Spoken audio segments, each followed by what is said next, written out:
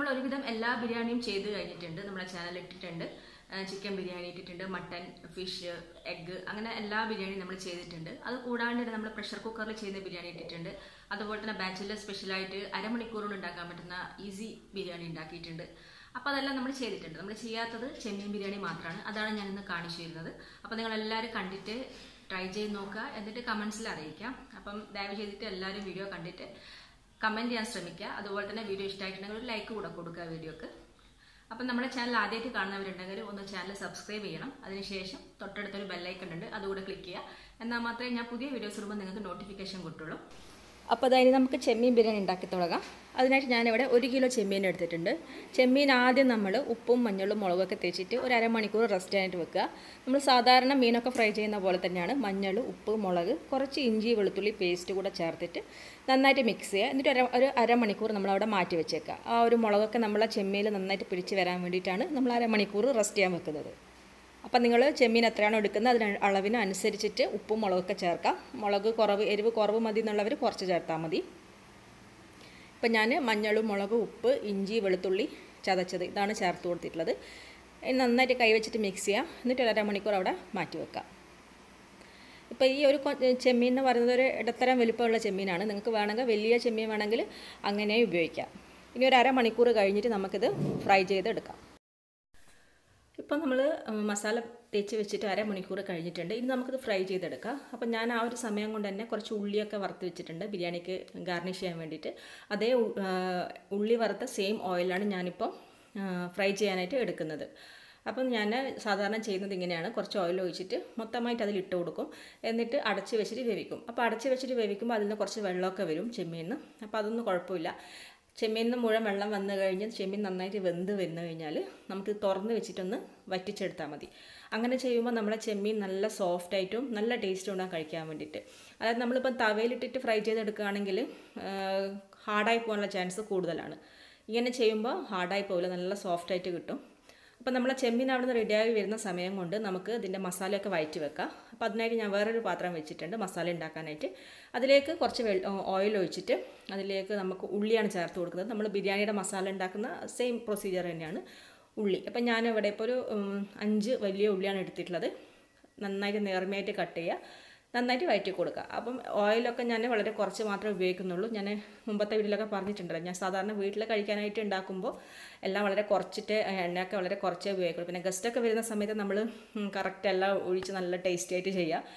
ഇല്ലാത്ത സമയത്തൊക്കെ എണ്ണയൊക്കെ കുറച്ചിട്ടാണ് ചെയ്യാറുള്ളത്. നമ്മൾ കുട്ടികൾക്ക് കഴിക്കുന്നില്ല അപ്പോൾ അതുകൊണ്ട്. കാരണം ഇടക്കിടക്ക് ബിരിയാണിയും കാര്യങ്ങളൊക്കെ കഴിക്കുന്നതാണ്. അപ്പോൾ അതുകൊണ്ട് നമ്മൾ ഒരുപാട് എണ്ണ ഉപയോഗിക്കുമ്പം അതൊരു ശരീരത്തിന് അത്ര നല്ലതല്ലല്ലോ. അപ്പോൾ അതുകൊണ്ടാണ് ഞാൻ എണ്ണ കുറച്ച് ഉപയോഗിച്ചത്. അപ്പോൾ നിങ്ങൾക്ക് നിങ്ങളെ താല്പര്യം പോലെ ചേർത്ത് കൊടുക്കാം. അപ്പോൾ ഉള്ളി ഒന്ന് നന്നായിട്ട് വഴന്ന് വരുമ്പോൾ അതിലേക്ക് നമുക്ക് ഇഞ്ചി പച്ചമുളക് വെളുത്തുള്ളി ചതച്ചത് ചേർത്ത് കൊടുക്കാം. അപ്പോൾ ഞാൻ ബിരിയാണിയുടെ ഡീറ്റെയിൽ ആയിട്ടുള്ള വീഡിയോ ഞാൻ കുറേ ചെയ്തിട്ടുണ്ട്. പലതരം ബിരിയാണി ഞാൻ ചെയ്തിട്ടുമുണ്ട്. അപ്പോൾ അതുകൊണ്ടാണ് ഞാനിത് കറക്റ്റായിട്ടുള്ള അളവും കാര്യങ്ങളൊന്നും പറയാത്തത്. ഞാനിപ്പോൾ ഒരു കിലോ റൈസും ഒരു കിലോ ചെമ്മീനുമാണ് എടുത്തിട്ടുള്ളത്. അതിനായിട്ടാണ് ഞാനിവിടെ അഞ്ച് വലിയ ഉള്ളിയും ഒരു നൂറ് ഗ്രാമിന്റെ അടുത്ത് ഇഞ്ചിയും വെളുത്തുള്ളിയും എടുത്തിട്ടുണ്ടാവും പച്ചമുളകും. ഒരു നാല് തക്കാളിയാണ് ഞാനിപ്പോൾ ഇതിൽ ചേർത്ത് കൊടുക്കുന്നത്. ഉള്ളിയും പച്ചമുളകും ഇഞ്ചിയും വെളുത്തുള്ളി നന്നായിട്ട് വഴന്ന് വരുമ്പോൾ നമ്മൾ തക്കാളി ചേർത്ത് കൊടുക്കുക. നമ്മൾ സാധാരണ എല്ലാ ബിരിയാണിയും ചെയ്യുന്ന ഒരേപോലെ തന്നെയാണ് വ്യത്യാസമൊന്നുമില്ല. ഇനി ഇതെല്ലാം കൂടി നന്നായിട്ടൊന്ന് വഴന്ന് വരുമ്പോൾ നമുക്കിതിലേക്ക് പൊടികൾ ചേർത്ത് കൊടുക്കാം. നമ്മൾ ചെമ്മീൻ അവിടെ നിന്ന് റെഡി ആവുന്നുണ്ട് ഞാൻ കാണിച്ചു തരാം. ഇതൊന്ന് മിക്സാക്കി വെച്ചതിന് ശേഷം നമുക്ക് ചെമ്മീൻ നോക്കാം. തക്കാളിയിൽ നന്നായിട്ടൊന്ന് വഴന്ന് വരട്ടെ. അപ്പം നമ്മളെ ചെമ്മീൻ എന്തായി നോക്കാം ഇപ്പോൾ ദാ ചെമ്മീൻ ഇവിടുന്ന് വെള്ളമൊക്കെ നന്നായിട്ട് വന്നിട്ടുണ്ടായിരുന്നു. അതൊക്കെ ഞാൻ തുറന്ന് വെച്ചിട്ട് വറ്റിച്ചെടുത്തതാണ്. അപ്പോൾ നമുക്ക് ഈ ഒരു പരുവത്തിലാണ് കിട്ടുക. ചെമ്മീൻ ഒരുപാട് കരിഞ്ഞും പോവില്ല. നല്ല സോഫ്റ്റ് ആയിട്ടുണ്ടാവും ഇങ്ങനെ ചെയ്യുമ്പോൾ. അപ്പോൾ നിങ്ങളൊന്ന് രീതിയിൽ ട്രൈ ചെയ്ത് നോക്കുക. നേരിട്ട് തവയിലിട്ടിട്ട് നമ്മൾ സാധാരണ ഫ്രൈ ചെയ്യുന്ന പോലെ ഫ്രൈ ചെയ്യാണ്ട് കുറച്ച് എണ്ണ ഒഴിച്ചിട്ട് ചെമ്മീൻ ഇട്ടിട്ട് മൂടി വെക്കുക. അപ്പോൾ ചെമ്മീൻ വെള്ളം വരും. വെള്ളമൊക്കെ വന്ന് നന്നായിട്ട് വെന്തതിന് ശേഷം തുറന്ന് വെച്ചിട്ട് ഒന്ന് വറ്റിച്ചെടുത്താൽ മതി. അപ്പോൾ നല്ല മസാലയൊക്കെ നന്നായിട്ട് അതിൽ പെരണ്ടിട്ടുണ്ടാവും. നല്ല സോഫ്റ്റും ആയിരിക്കും. അപ്പം നമ്മുടെ ചെമ്മി റെഡി ആയിട്ടുണ്ട്. അവരുടെ സൈഡിലിരിക്കട്ടെ. ഇപ്പം നമ്മൾ തക്കാളിയും ഉള്ളിയൊക്കെ നന്നായിട്ട് വഴന്ന് വന്നിട്ടുണ്ട്. ഇനിയിപ്പം നമുക്കിതിലേക്ക് പൊടികൾ ചേർത്ത് കൊടുക്കാം.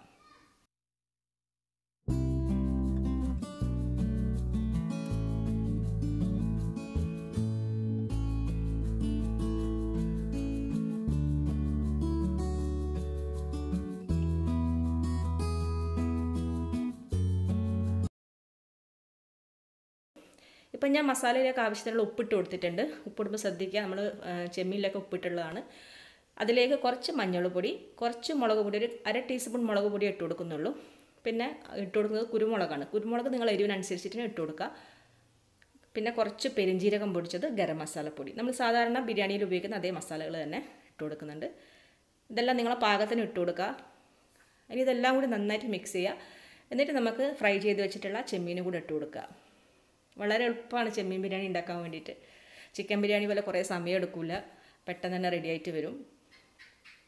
പിന്നെ ഞാൻ എപ്പോഴും സാധാരണ ചെയ്യുന്ന സ്ഥിതിക്ക് എളുപ്പത്തിലുള്ള വഴികളാണ് ചെയ്യുക. പല രീതിയിൽ ഞാൻ ബിരിയാണി ഉണ്ടാക്കും. അന്നത്തെ ചെയ്യുന്ന ആ ദിവസത്തെ ഒരു മൂഡ് പോലെ അനുസരിച്ചിട്ടാണ് ഞാൻ ബിരിയാണി ഉണ്ടാക്കുക.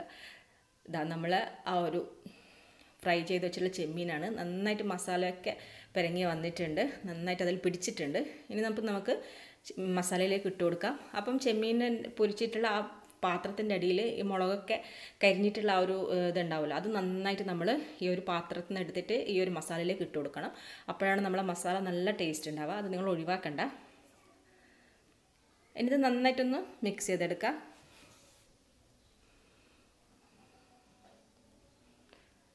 ഇനി ഇതെല്ലാം കൂടി നമുക്ക് ഒരു അഞ്ച് പത്ത് മിനിറ്റ് ഒന്ന് മിക്സായി വരുന്നത് വരെ ചെറിയ തീയിൽ അടുപ്പിൽ വെച്ചേക്കാം. ഇനി നമുക്കിതിൽ ചേർക്കാനുള്ളത് കുറച്ച് നാരങ്ങാ നീരും മല്ലിയിലയാണ്. ഒരു നാരങ്ങയുടെ പകുതി നാരങ്ങ നീര് ചേർത്ത് കൊടുക്കുക. അതുപോലെ കുറച്ച് മല്ലിയിലയും കൂടി ചേർത്തിട്ട് ഒന്ന് നമ്മൾ അടച്ച് വെച്ചിട്ട് ഒരു അഞ്ച് പത്ത് മിനിറ്റ് ചെറിയ തീയിൽ വെച്ചേക്കുക. വെച്ചേക്കാം അതിന് ശേഷം നമുക്ക് മസാല ഇറക്കി വെക്കാം. അപ്പോൾ ഇത് ഈ ഒരു പാകത്തിൽ നിങ്ങൾ ഉപ്പും ബാക്കിയുള്ള കാര്യങ്ങളൊക്കെ കറക്റ്റാണോ നോക്കുക. എന്തെങ്കിലും കുറവുണ്ടെങ്കിൽ ഇപ്പോൾ ചേർത്ത് കൊടുക്കണം. ഇപ്പം ഞാൻ ഒരു അര മുറി നാരങ്ങ നീര് കൂടെ ചേർത്ത് കൊടുക്കുന്നുണ്ട്. ഒരു നല്ലൊരു മസാലക്ക് നല്ലൊരു പുളി കിട്ടാൻ വേണ്ടിയിട്ടാണ്. നമ്മൾ സാധാരണ ചിക്കൻ മസാലയിലും ഒക്കെ നമ്മൾ ചേർക്കാറുള്ളതാണ്. നന്നായിട്ടൊന്ന് മിക്സ് ചെയ്ത് കൊടുക്കാം. കുറച്ച് മല്ലിയില കൂടെ ഇട്ട് കൊടുക്കാം. മല്ലിയിലയും കുറച്ച് പുതിന ഉണ്ടെങ്കിൽ പുതിന ഇട്ട് കൊടുക്കാം. അപ്പം നമ്മൾ മസാല റെഡി ആയിട്ടുണ്ട്. നേരത്തെ പറഞ്ഞ പോലെ ഉപ്പും കാര്യങ്ങളൊക്കെ കറക്റ്റാണോ ചെക്ക് ചെയ്യണം. ഞാൻ മല്ലിയില ഇട്ട് കൊടുത്തിട്ടുണ്ട്. എന്നിട്ട് ഞാനൊരു അഞ്ച് പത്ത് മിനിറ്റ് അടച്ച് വെച്ചതാണ്. ഇപ്പം നമ്മുടെ മസാല റെഡി ആയിട്ടുണ്ട്. ഇനി ഞാനിത് ഗ്യാസിൽ നിന്നും മാറ്റി വെക്കുകയാണ്. ഇനി നമുക്ക് ചോറ് ഉണ്ടാക്കി തുടങ്ങാം. അപ്പോൾ റൈസൊക്കെ ഉണ്ടാക്കുന്നത് ഞാൻ കറക്റ്റായിട്ട് വെള്ളത്തിന്റെ അളവും കാര്യങ്ങളൊക്കെ കറക്റ്റ് പറഞ്ഞിട്ട് തന്നെ ഞാൻ മുമ്പത്തെ കുറേ വീഡിയോ ചെയ്തിട്ടുണ്ട്. അപ്പോൾ അതുകൊണ്ട് ഞാനിതിൽ അങ്ങനെ ഡീറ്റെയിൽ ആയിട്ടൊന്നും റൈസിന്റെ കാര്യങ്ങളൊന്നും പറയുന്നില്ല. അപ്പോൾ റൈസ് ഉണ്ടാക്കാനായിട്ട് ഞാനിവിടെ ഒരു പാത്രം വെച്ചിട്ട് അതിലേക്ക് കുറച്ച് ഓയിലും കുറച്ച് നെയ്യും രണ്ടും മിക്സ് ചെയ്തിട്ടാണ് ഉപയോഗിക്കുന്നത്. എണ്ണ നന്നായിട്ട് ചൂടായിട്ട് വരുമ്പോൾ അതിലേക്ക് നമുക്ക് ഗരം മസാലാസ് ഇട്ട് കൊടുക്കുക അതായത് പട്ട ഗ്രാമ്പു ഏലക്കായ ജാതിപത്രി അങ്ങനത്തെ സംഭവങ്ങളൊക്കെ ഇട്ട് കൊടുക്കുക കുറച്ച് പെരിഞ്ജീരകം കൂടി ഇട്ട് കൊടുക്കുക ഞാൻ എപ്പോഴും പറയുന്നതാണ് ബിരിയാണി ഉണ്ടാക്കുമ്പോൾ റൈസ് ഉണ്ടാക്കുമ്പോൾ കുറച്ച് പെരിഞ്ജീരകം മുഴുവനായിട്ടുള്ളത് കൂടെ ചേർത്ത് കഴിയുമ്പോൾ നല്ല ടേസ്റ്റും നല്ല ഫ്ലേവറും നമ്മുടെ റൈസിന് കിട്ടും.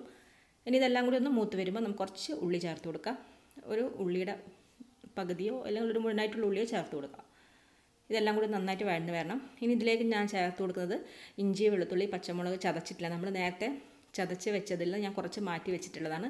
ഞാൻ എപ്പോഴും ചോറുണ്ടാക്കുന്ന സമയത്ത് ഈ ഒരു കാര്യം ചേർക്കാറുള്ളതാണ്. ഞാൻ മുമ്പത്തെ വീഡിയോയിലൊക്കെ പറഞ്ഞിട്ടുണ്ട്. അപ്പം ഈ നേരത്തെ പറഞ്ഞ പോലെ തന്നെ ഇതൊക്കെ ചേർക്കുമ്പോൾ നമ്മൾ റൈസിന് നല്ലൊരു ഫ്ലേവറാണ് കിട്ടുക. ഇപ്പം നിങ്ങൾക്ക് മസാലയൊന്നും ഇല്ലെങ്കിൽ കൂടി വെറും ഗീ റൈസായിട്ട് കഴിക്കാൻ തന്നെ നല്ല ടേസ്റ്റ് ഉണ്ടാവും. അപ്പോൾ ഇതെല്ലാം കൂടി ഒന്ന് മൂത്ത് വരുമ്പോൾ നമുക്ക് അരി കൊടുക്കാം. അപ്പോൾ ഞാൻ നേരത്തെ പറഞ്ഞു ഞാൻ ഓരോ ദിവസവും എനിക്ക് അന്നത്തെ മൂട് പോലെയാണ് ബിരിയാണി ഉണ്ടാക്കുന്നത്. അപ്പോൾ ഇന്ന് ഞാൻ സാധാരണ ഞാൻ വറുത്തിട്ടൊന്നും ചെയ്യാറില്ല.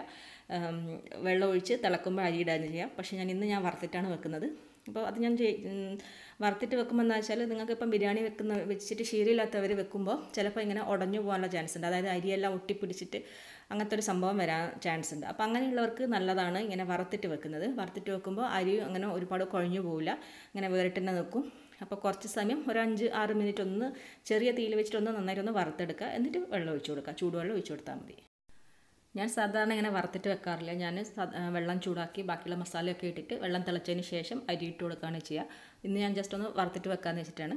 ഇപ്പം ഞാനൊരു അഞ്ചാറ് മിനിറ്റ് നന്നായിട്ട് വറുത്തെടുത്തിട്ടുണ്ട്. അതിലേക്ക് ഞാൻ അളന്ന് വെച്ചിട്ടുള്ള വെള്ളമാണ് ഒഴിച്ചു കൊടുക്കുന്നത്. ഒന്നര പാത്രം വെള്ളം ഒഴിക്കുന്നുണ്ട്. നമ്മൾ അരി അളന്ന് ആ പാത്രത്തിൽ ഒന്നര പാത്രം വെള്ളം ഒഴിച്ചു കൊടുക്കുക. അപ്പോൾ ചില അരിക്ക് വേവ് കൂടുതലുണ്ടെങ്കിൽ നമ്മളിപ്പോൾ ഒന്നര പാത്രം മതിയാവില്ല. അപ്പോൾ നമ്മൾ കുറച്ച് ഒരു പകുതി വേവായതിനു ശേഷം നമുക്ക് മനസ്സിലാവുമല്ലോ. അരി കടിക്കുന്ന അരി വെന്തിട്ടില്ല എന്ന് തോന്നുമെങ്കിൽ കുറച്ചും കൂടി ചൂടുവെള്ളം അതിന്റെ മേലെ ഒഴിച്ചു കൊടുക്കുക. ചില സമയത്ത് ചില അരി നമുക്ക് കറക്റ്റ് വെള്ളം ഒഴിക്കുന്നത് കറക്റ്റ് ആയിരിക്കും. അപ്പോൾ അത് നിങ്ങൾ ഓരോ നാട്ടിലുള്ള അരി കിട്ടുന്നതിന്റെ ആ ഒരു വ്യത്യാസം അനുസരിച്ചിട്ടിരിക്കും വെള്ളത്തിന്റെ കണക്ക്. അപ്പോൾ അതുകൊണ്ട് കറക്റ്റ് നമുക്ക് വെള്ളം പറയാൻ പറ്റില്ല. ഒരു പാത്ര ഒരു ഇപ്പം ഒരു ഗ്ലാസ് അരിക്ക് ഒന്നര ഗ്ലാസ് വെള്ളം എന്നുള്ള കണക്കാണ് നമ്മളെപ്പോഴും പറയാറ്. ഇനി നമ്മളിതിലേക്ക് ആവശ്യത്തിനുള്ള ഉപ്പിട്ട് കൊടുക്കുക കുറച്ച് മല്ലിയിൽ ഇട്ട് കൊടുക്കുക എന്നിട്ട് ഇത് തിളപ്പിച്ചെടുക്കുക. അപ്പം ഞാൻ ഹൈ ഫ്ലെയിമിൽ ആദ്യം ഒരു അഞ്ചാറ് മിനിറ്റ് തിളപ്പിക്കും. അതിനുശേഷം ചെറിയ തീയിൽ വെച്ചിട്ടാണ് നമ്മളിത് വെള്ളം വറ്റിച്ചെടുക്കുന്നത്.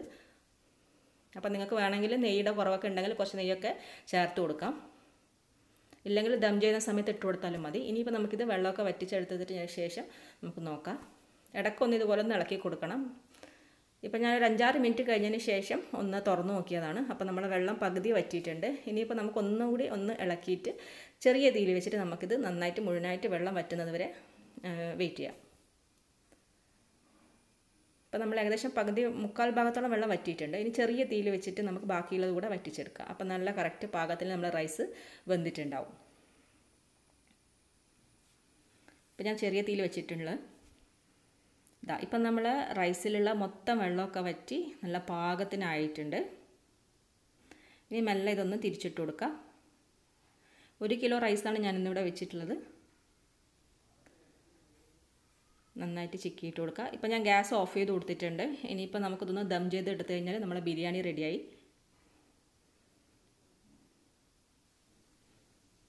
ഞാൻ നേരത്തെ പറഞ്ഞ പോലെ നിങ്ങൾക്ക് നെയ്യ് കുറവാണെന്നുണ്ടെങ്കിൽ ചേർത്ത് കൊടുക്കാം കേട്ടോ ഞാൻ കുറച്ച് ചേർത്തുന്നേ ഉള്ളൂ. അതൊക്കെ നിങ്ങളെ ടേസ്റ്റിനനുസരിച്ചിട്ട് ചേർത്ത് കൊടുക്കാം. അതിലൊരു പ്രശ്നവുമില്ല. അപ്പം നമ്മൾ ബിരിയാണി റെഡി ആയിട്ടുണ്ട്. ഇനി ദം ചെയ്തെടുക്കുക വേണ്ടു. ദം ചെയ്യണമെന്നൊക്കെ ദം ചെയ്യുക. ഇല്ലാത്തവർക്ക് അങ്ങനെ കഴിക്കാം. അപ്പം നിങ്ങൾ എല്ലാവരും വീട്ടിൽ ട്രൈ ചെയ്ത് നോക്കുക. നല്ല ഈസി ആൻഡ് ടേസ്റ്റി ആയിട്ടുള്ള മലബാർ സ്റ്റൈലിലുള്ള ഒരു ചെമ്മീൻ ബിരിയാണിയാണ്. എല്ലാവരും ട്രൈ ചെയ്ത് നോക്കിയിട്ട് കമൻസിൽ അറിയിക്കുക. എങ്ങനെയുണ്ട് എന്നുള്ളത്. അപ്പോൾ നമുക്ക് അടുത്ത നല്ലൊരു സിമ്പിൾ ആൻഡ് ഈസി റെസിപ്പി ആയിട്ട് വരാം. അതുവരെ എല്ലാവർക്കും നന്ദി. നമസ്കാരം.